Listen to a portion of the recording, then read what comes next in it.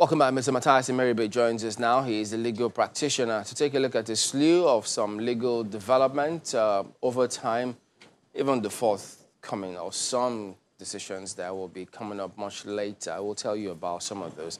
Good morning. Uh, thank you for coming on today. Thank you.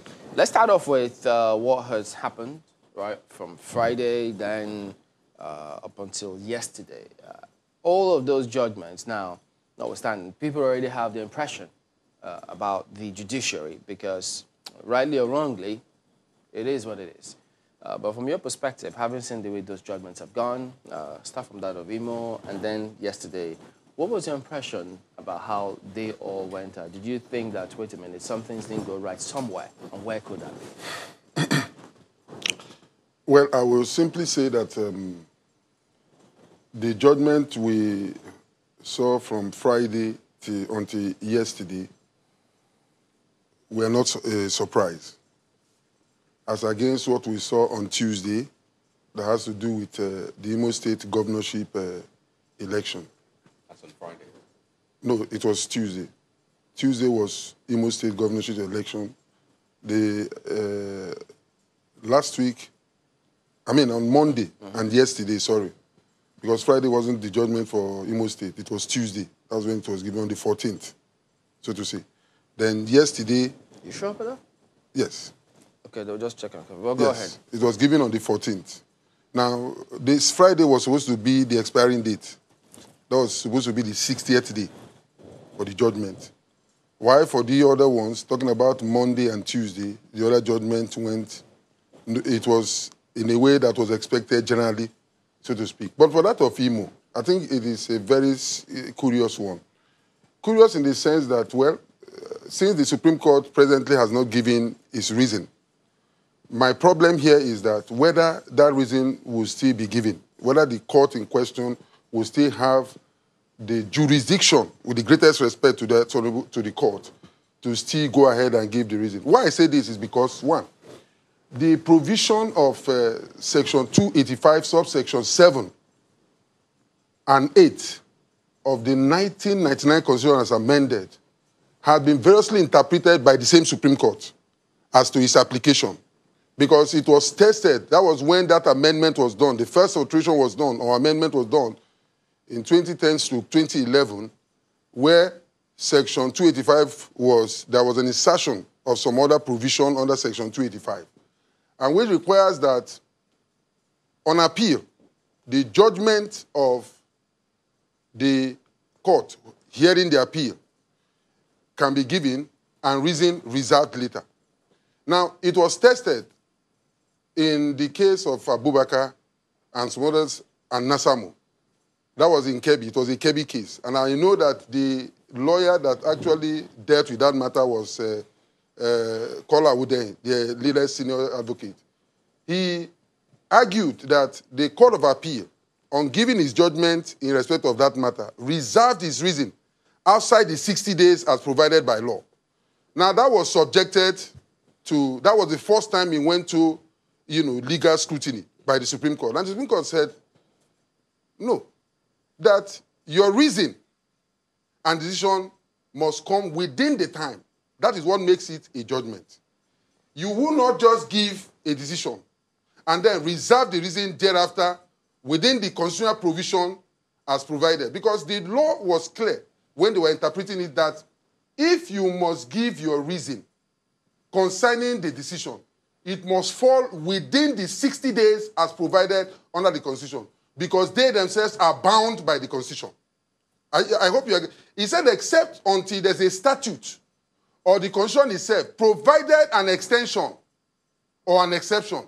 But since that was not done, I'm surprised that as we speak, because for the Imo State governorship, for instance, we may not fall the judgment as given on that 14th because, according to them, the reason is not on all fours with what you have in the other cases that just came up yesterday, talking about Monday and Tuesday, so to say, because those ones are talking of overvoting, irregularities, and so on and so forth. But in the case of Imo State, the singular issue for determination, basically, which of course the court felt that hope brought, was the issue of exclusion of results. And Having cited the Ajasis case and the Omobori Owos case, talking about the CCONO's case and the Ajasis case, using that simple position, all you need to do, just tender the result you said that was excluded. And that's also the burden is not as heavy as where you have alleged there was fraud. So that was simply, but I was thinking that in giving that position, bearing in mind that perhaps the 60th day will probably lapse by 17th of, unless I'm mistaken, so to speak. But if that is the case, it means that as it stands, going by the Supreme Court judgment and following that position, there's no judgment. So does that suggest Because that- they heard that But- if the judgment and the reason So- is not given within that time, Yeah. it is a nullity. if that were the case, Yes. what does that what does this then mean? The effect, therefore, will mean that we are leaning back to the Court of Appeal judgment where there is four to one. Well, That's the implication. any precedence to this? Except I will be corrected as long as because this is the authority and it was has, even has this happened before?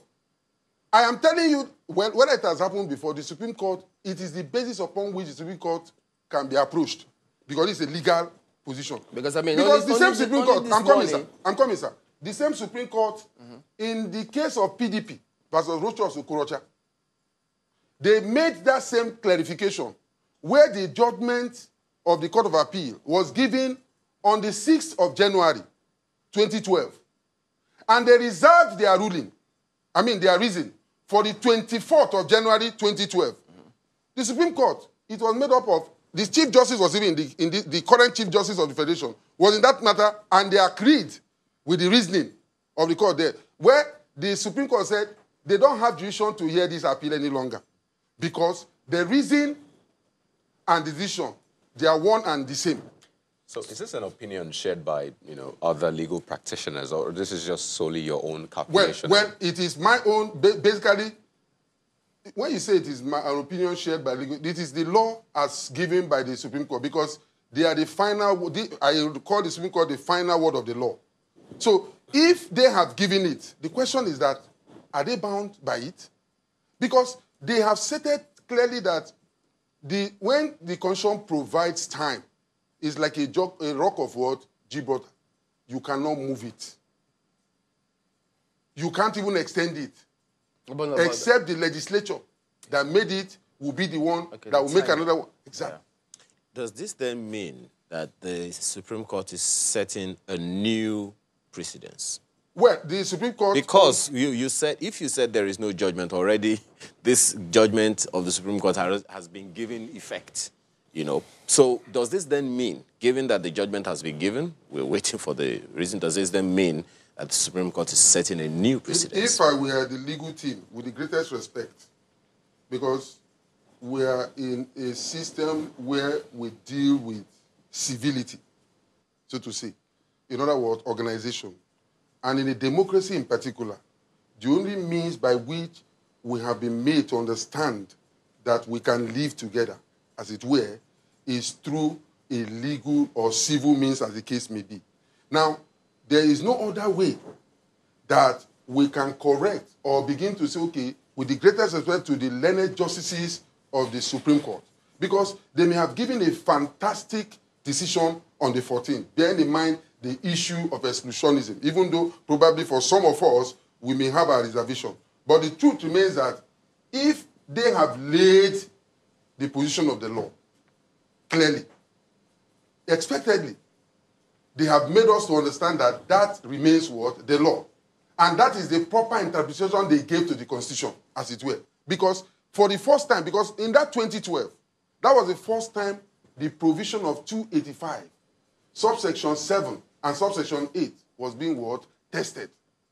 Because that was then the issue of 60 days, how is it going to apply? The issue of 180 days, how is it going to apply? And they were unequivocal, in their position concerning the application of the 60 days word rule. So if the reason doesn't come within the ambit of the time they have given their decision, with the greatest respect, they, by their own language, they, they said there is no word decision, and therefore whatever may have been done is null and void. So what then is the implication of this? The judgment has been given. Yes. It has been activated. Does this then mean that there is a new precedent being set by the Supreme Court or the Supreme Court is in violation of the law? with the greatest respect, nobody will tell you that Supreme Court is in violation of the law because, according to their words or the language they used in uh, Adegoke and Adesanya, that they are not, they are, I mean, they are final. They are not final because of infallibility. They are infallible because of their finality. So, not that they are saying they are not infallible by virtue of that statement. But they are simply saying, telling you that even if they are infallible, you will hardly do anything about it because they have given their final word of it. And they are the last, the last bus stop. But I think, with the greatest respect, even within the provision of their rules, it gives room for parties who feel aggrieved by what may have happened to approach them on some other grounds. Now, the ultimate question may be that, okay, if the Supreme Court has given its judgment within because as it stands, if they have not given their reason, and they still must still give the reason for the judgment, if somebody is telling me that they are functions of feature at the time they gave their judgment, on what basis would they now come back to now give reason? If you are functions of feature, you can't give reason again now concerning it. So if they will still have to give reason, it still gives room for the lawyers in question to approach the court and say, please, since you have not given your reason, please I would like you to consider not even going ahead because of A, B, C, or D, or because of these authorities. So it may probably give them the opportunity to now address that position as to say, in this case, this authority will not apply, or it will apply. So we'll not know whether they are bound by this constitution or not. Because you cannot, dis- I mean, uh, after giving your position that every court, because the language was court, must bound, must be bound, because the provision of that says tribunal or court when you are going on appeal. So, by implication, the Supreme Court is a court for this purpose, though the final court that makes the law. Just to be clear, yes. you're saying that the decision was given within the 60 day time frame. Is that what you're saying? But the reason was not given or has not been given within the 60 day time frame. Is that what you're saying? That is what I'm saying, that if the reason wasn't given within the 60 day time limit, then it is not longer binding. But the judgment was given within the time frame. It is more like an order. Nobody calls it a judgment must contain about six elements. You, have used, you have, used, the term judgment it was, interchangeably. Yes, yes, it was described, it was stated in that very case, that's PDP versus Rochas Okorocha, by His Lordship uh, uh, Adeke, who, try, who laid down what a true judgment must constitute, amongst which are what? you must first of all, as a court, give the facts of the case. Number two, the court in question must proceed to appraise the fact as given by the parties. Number three, he must analyze the cases cited by the what? By the parties. Number four, you must also give the applicable laws, the applicable and relevant laws that were cited or given by the parties. All within the 60 day time frame. yes. Number five, you must proceed to make a finding of fact and conclusion in that same judgment. And then finally, the court must then proceed further to now state his own position, his reason. That is for coming either to agree or not to agree as so. Know. So when these things have not been done, the judgment is not complete. Because that is simply so, what it analyzed in that very case of PDP and Rochas Okorocha. On what basis then? Yes. Uh, because if whoever approaches the Supreme Court saying, well, since you've not given your reason, can you consider this? You just said now that the judgment is incomplete. Yes. So will they be approaching the court based on an incomplete I think, judgment? I, yes, they can. They can approach the court for the court to pronounce that based on this, the Court of Appeal position still stands. Even though the reason has not been adduced. Because if they say... They, they can say that because what they are saying is incomplete. Yes, please. If you don't have the full fact of the matter, how do you approach the court when you don't have the full No, fact? no, no. It's the full fact for this purpose. That is what I mean. To the extent that you say it's incomplete. I said the full, yes. It's incomplete. Yeah. It, will, it will be incomplete if the reasons have not been given. Which is the case that is now. What makes it, that is what makes it. That's exactly the case. So here. how do one? How does one then approach? You will approach the court to when raise. You are approaching the court with a question before the Supreme Court, in view of the fact On an incomplete fact. Yes. In view of the fact, that is, you are submitting a question to the court, that in view of section 285, subsection 7 and 8, and in view of the authority as cited in the case of which I mentioned, Abubakar and Nasamu, in the case of PDP and uh, Okorocha, can this court still regard the judgment he gave on the 14th? Are you getting what I'm saying? As being valid and subsisting? That's the language. And if it's not valid and subsisting, what is the effect? What will be the consequence? It means that we are leaning back to the judgment that was given fully with the reasons of the one of Court of Appeal. Does that mean that you are saying that the, there's a possibility of the Supreme Court reversing itself? Well, let me not use the word whether it's going to reverse, but the court can still reverse itself, depending once it discovers Reverse that its it has judgments. Yes, it can reverse itself. There's no crime in doing that. Once it discovers, because even in that very case I mentioned, Adegoke, he said once the court discovers a mistake, he can correct itself. So, It's better to correct an injustice than to allow it to continue. so the That's Supreme, what, that's, it, it, it was in that case. it's still possible for what you are saying by implication. You're saying that it is still possible for the Supreme Court to pronounce and say, uh, In my Emeka view- Ihedioha is should be governor and we should remove It is possible because of the position of the law that I've just stated. Based Except your their lordships, their lordships have not seen it. But I'm saying that if the lordships, the law lords, as they are, have realized this position, because it is their own judgment. Is this not just based on your interpretation of the law? Because some other people might see it differently. Now, remember yesterday, with due respect, a learned senior advocate was uh, on your studio in Abuja. That is, uh, uh, is uh, Jubril Okutekpa. There was a question, I believe you are the one that put that question to him, that, look, is there no time that he can give his reason? You know, I, I, with due respect, I saw the difficulty in the way he answered. He said he can give the reason. No, there must be time. If going by what the Supreme Court has said in the case I've just cited before you, and it's a reported case. So, did you uh, reference section 285 in this matter? So, what happens to section 285D in this case? 285D. There's not like 285D. When, the, when it says that um, the courts, in all final appeals from the election Except you tribunal. are reading the unamended uh, copy. If it's the amended one, yeah, but it's this is, it. uh, this is amended one, isn't it?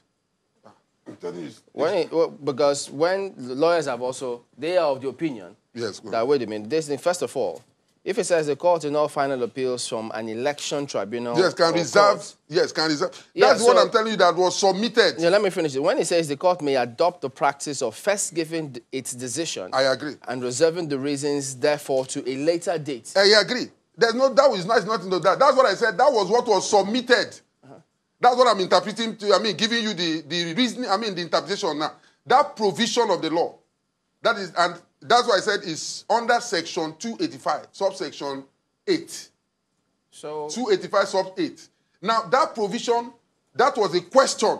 Is there That- a time frame to that later date according to the Constitution? That's what I'm telling you. That the, that was what was submitted before the court. Because I said that this provision, the Court of Appeal had felt in the case of that, the case I cited to you, Abubakar and Nasamu, where it was in 2012 that the case was decided, where the Court of Appeal was working under the belief that having given his judgment then earlier, are you getting me in respect of the matter? He can give his reason after 60 days. Supreme Court say, uh, uh, uh, you cannot do that. But that was for the Court of Appeal, not for the Supreme Court. But if you go by the wordings, unfortunately, I'm not here with my with my editing. The language of the Supreme Court did not give room for exception. In, fact, the Supreme Court themselves said that the only way the exception will arise is if the Constitution itself made a provision for extension. But we know that the courts are not equal, as it were. The Court of Appeal is not equal. I am not disputing that. Court. Nobody's so, arguing so that. the Supreme Court is a court of finality. So, Yes. I mean, understanding that, can that not render that particular, you know, that interpretation you have given, can, that, can it not render it null and void? Is it possible if you render it null and void, you are by implication saying that this constitution does not suffice? You can you, it, it, it, it is something that is very strong, and I keep saying that except we, we, the, the, the, we, we want to ignore what the law has said. Which is why I asked the question that you haven't quite answered. Okay. Is the Supreme Court, by this position, setting a new precedence? You know, because this question has not been submitted to it. When I say submitted, in respect of what has happened now, for the Supreme Court to now either make a position, either saying that, look, by what I have seen, yes, the judgment that we gave no longer stands. It has not been submitted. Nobody has dared or attempted to challenge it. So why So, in doing that, that is why, as a public analyst, and by virtue of the fact that the judgment has been given already, we are now open to make some critique concerning it, positive or negative as the case may be, but with a more progressive position. That is why I have decided or have raised it so that it is something or a legal mind can engage itself. All right, let's see if we could talk about this as well. Uh, maybe we can come back to this if some other points stick out because uh, this perspective of yours now, uh, well, we'll see how people respond to it. By all means, you can send us your thoughts on what you think of Mr. Meribe's submissions about this perspective of Using what- those authorities, because once you read those authorities, Yeah. they are very clear. All right, they heard you. But then this Saturday, there'll be uh, this rerun election in Akwa Ibom Northeast, uh, the senatorial election, which involves uh, Senator Akpabio. But it, then turns out because if initially he says, look, I'm not going to participate in these elections because others can go ahead and participate. And then our next position, because now we understand that the courts have said, no, um, you can't actually withdraw you have to participate in the election. Of course, what appears, the way it comes across naturally to people is that, look, is this thing by force? If he says he doesn't want to run, what's wrong in that? No, you, know, it's not by force, but the thing is that uh, by the law, and that is why we are saying when we operate by law, things will go well. By the law, the time for him to withdraw had what? Had lapsed. The only thing, that is why there was this amendment that was done. If you remember what happened in the Faleke's case, talking about the then governor who died in the currency of the election itself. And so there was confusion. So because of that, after the Supreme Court judgment, there was need for amendment to be done, which provides that if such happens, the party that produced such a person will be given time to go and do another primaries and produce before the listing will be concluded. Now, having said that, in the case of Akpabio, so to say, we are not talking of death here that will enable him to say, okay, some other person will come in. He's still alive. It's not that circumstances had made it probably on his own part, by way of his own decision, to say he doesn't want to what, proceed any longer. I am withdrawing. So, as it stands, in the eye of the law, Akpabio is still what? In the contest.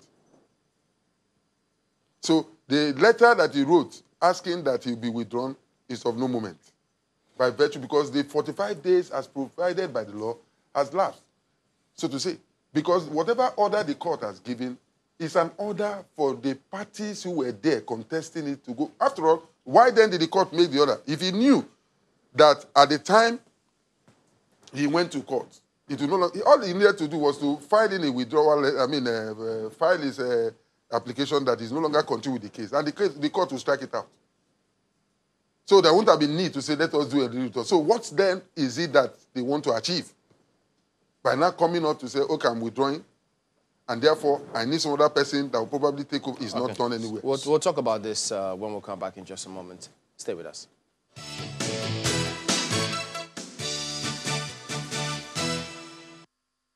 All right, welcome back. Well, uh, Mr. Meribe uh, is of the opinion that uh, the Supreme Court ruling concerning the Imo governorship election appeal is to the extent that they didn't stick with uh, given the reason within a certain 60-day period is, uh, I hope I'm right in your words, invalid, meaning they have to revert to the Court of Appeal decision. He says, uh, yes, you can give the judgment within that time frame, but insofar as the reason have not been given, parties aggrieved may approach the Supreme Court saying, look, based on this, we think there's been an error somewhere. That's the point you're making, isn't it? All right, so uh, we'll um, go ahead and see if, uh, well, we, we do have uh, Mr. Fidel Albert He's, is a legal practitioner. I think he joins us on the phone this morning. Good morning, Mr. Albert. Um, I haven't, I'm not sure. Did you get the perspective of Mr. Emeribay and what do you think about it concerning the Imo governorship election? Good morning. Um, nice to, to have me calling. Um, I, I, I, from what I understand, the discussion is revolving about the uh, the, the, not not giving of reasons uh, uh, that uh, that premise the decision of the Supreme Court up till today. Do I do I understand that properly? Yes. Okay. Yeah. I, I don't think the uh, I wouldn't say that the uh, the judgment is invalid because reasons have not been given. I think these issues have come up previously uh, at the Supreme Court and there are decisions on it, um, which of course is binding on us as legal practitioners giving commentaries and, and, and other courts. Let us not forget that the Supreme Court is the highest, uh, is, a, is, a, is the apex court. Um, what the Supreme Court has said is, in previous cases, is that uh, they are not, as the apex court, they are not bound by that timeline. Um, I want you to, to, I want us to remember that there, there are certain things that are inserted in the Constitution. For example, if you recall the, the Wamako case in, in Sokoto, at the time, the Supreme Court had that appeal come come to it to to give uh, its uh, its decision on it. The Supreme Court constitutionally did not have the jurisdiction to to hear appeals on governorship election petitions, but they did. Constitutionally, they didn't have the power, but they said they were doing it under their inherent jurisdiction, and they gave the uh, the, the judgment. That judgment is binding till today, despite uh, notwithstanding that constitutionally they did not have the power. It was after then that the constitution was amended to give Supreme Court. Um, um, so yes, even though there is a, a time limit in the constitution for the giving of decisions, if the Supreme Court has said that the time limit is not binding to it because it's apex, apex court, that that is where we stand. That is what binds everybody. There is no you you cannot uh, uh, take that decision to any way for review because they are the last and the, uh, the final arbiter in the in the judicial process. So that is my view. I, I, I do not believe that the the, the, uh, the, decision is invalid just because they have not given the reasons today. Um, so so so that that is where that is, that is where I anchor my, my own views. All right, but uh, he also did suggest that parties can actually uh, approach the Supreme Court, even though the reasons have not been adduced, citing one or two things. Uh, can, you, what can can that actually happen? Pending I don't, the I, full. I, I, yes, go ahead. I absolutely don't believe that that you can approach the Supreme Court again. You see, the Supreme Court has stated over and over again um, the, the, instances where its decisions can be reviewed. If there is a clerical error, if there is a if there is a, a slip, yes, you can go back to to to, uh, to the Supreme Court to, to review the decision, not review the merit of the decision, but to, to correct the, the the mistake. But here we have a substantive decision. In, in any event, if you don't even have the reasons, what, on what basis are you going to challenge it? It's going to be difficult. Then, even if you had the reason, you cannot go back to the Supreme Court to set aside um, um, its decision. That, that uh, several um, uh, cases have come away. Parties have tried to do that, and the Supreme Court has, in very clear terms, upbraided, upbraided the practice. It, it, I, for me, I don't think it's possible. What has been done has been done. Uh, we just have to find a way to uh, to accept it and to move forward. All right, then, Mr. Fidel Albert, thank you for your thoughts this morning. Very grateful. Thank you very much. Yeah. Well, it's always the, the case with lawyers. Uh, after all, that's why they're lawyers. Uh, if there's lawyers there, they have to approach the courts. So until the courts decide, decide otherwise, the matter will keep going back and forth on that particular one. Well, um, uh, Fidel has given his uh, opinion. I feel, with the greatest respect, that um, even if the Supreme Court will say no, we are not going to be bound by the time as provided under the provision of the law. The simple question you ask is, why then, because if they are not bound, they can therefore stay on without being bound by the 60-day rule to give the judgment. If you understand the point I'm making. If going by what Fidel is saying, that uh, they can, they don't think that can is possible, or you cannot approach them on that, then the 60-day rule provided by the Constitution would therefore, by implication, not bound since they are the final court and nobody can appeal. I, I don't know what, whether you are getting what you know. What you ask yourself the question: If they fail to give their judgment, like the Imo State they say now, they now fail to give their judgment within the time. Because you ask yourself, okay, then why be in a hurry to give it within the 60 days? If you understand the point I'm saying, it is because of the Constitution. If, if they if they feel that the Constitution is not binding, so to say, would they proceed to now give that, I mean, the judgment within the 60 days? So if he says that you can't, they cannot, you can't, I mean, it's a question. After all, we are developing the law.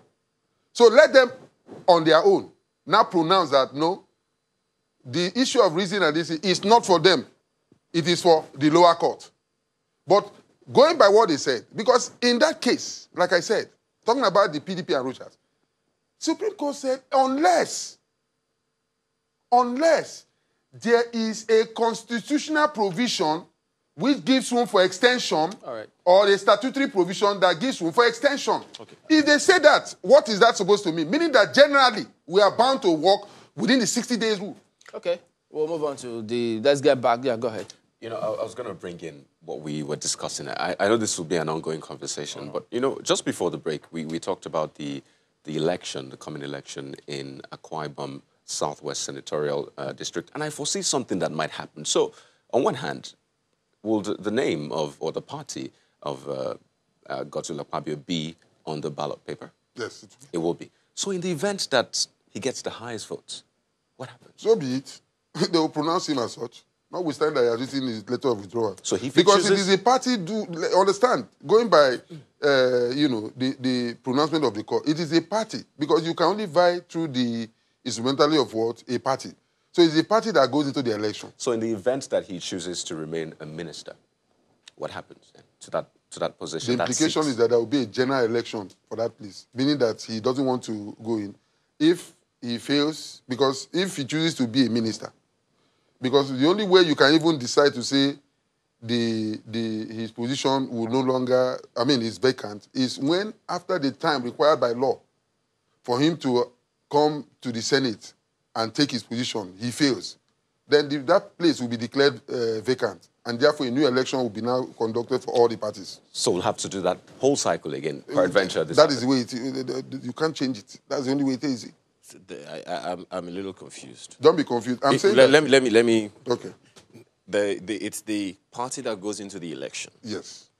The representative of the party is wrote officially to the party and Good. says, "I do not want to represent the party anymore." Yes. The party still goes into the election anyway. Yes. So the party does not withdraw its candidature from the election. Yes. Now the individual is saying he, can, he doesn't the want election, to. Okay, so how, why is it that the party cannot substitute? No, you, that's why I said the, the substitution, time for substitution has already lapsed. But it's not the individual that goes into the election. It's yeah. the party. It's the person that you are presenting. Why are we talking of primaries?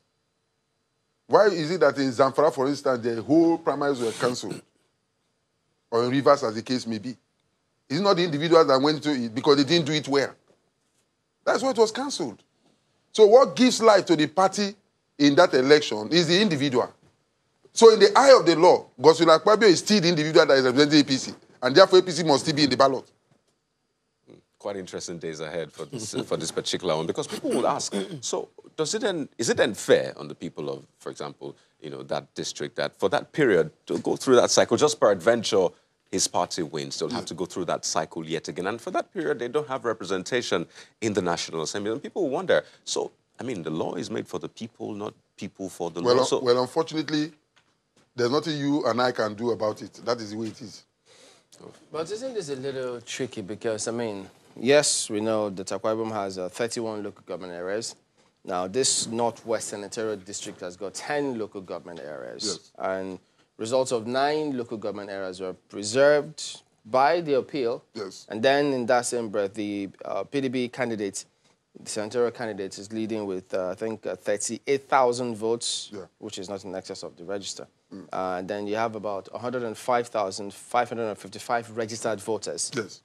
But then, after the election and everything was collated, Senator Akpabio went to court saying 61,339 of his votes were not collated. Yeah.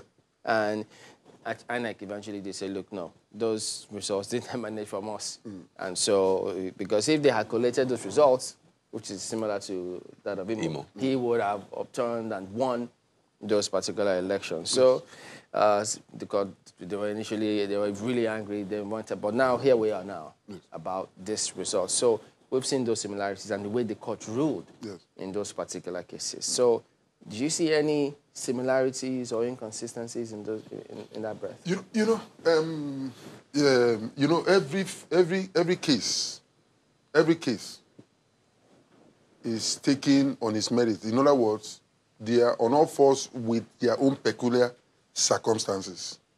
Now, yes, on the face of it, the issue of exclusion of results in the total collation of the result of the entire senatorial district is probably what Akpabio went to do.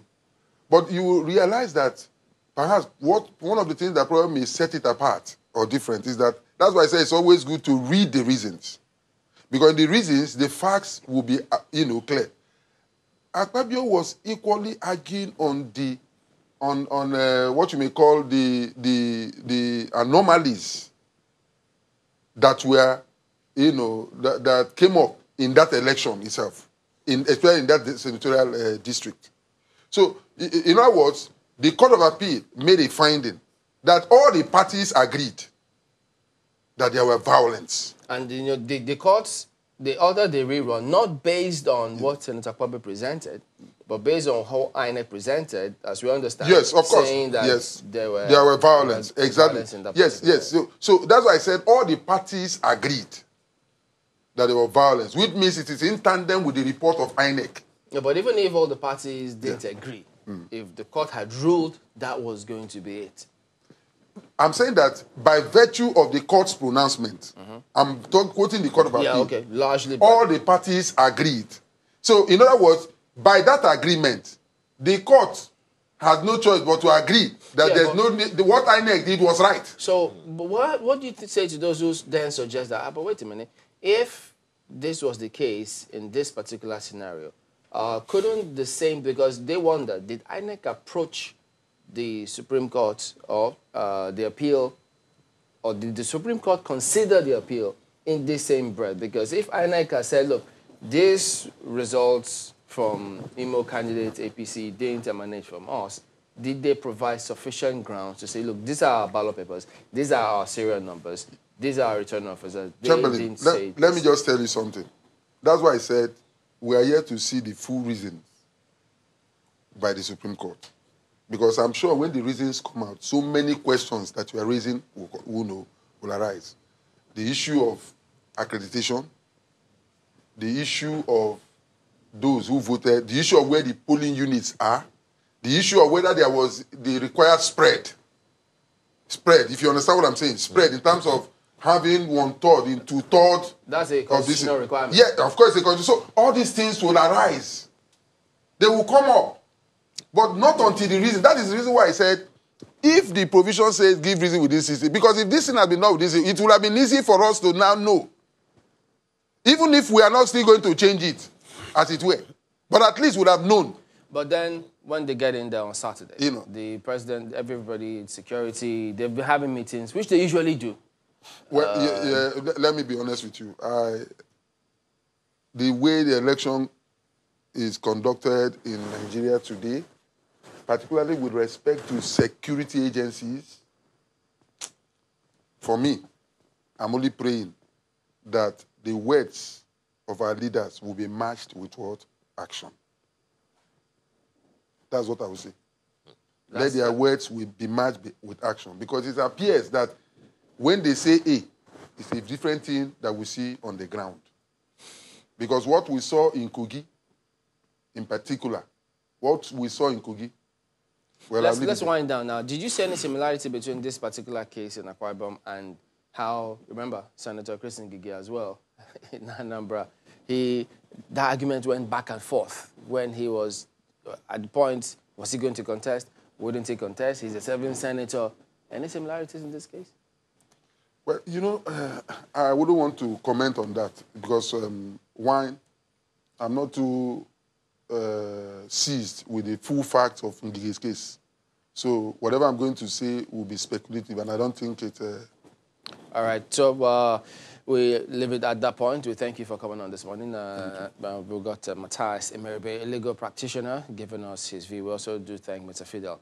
Well, we'll turn on to uh, next uh, subject matter now in a moment. Stay with us.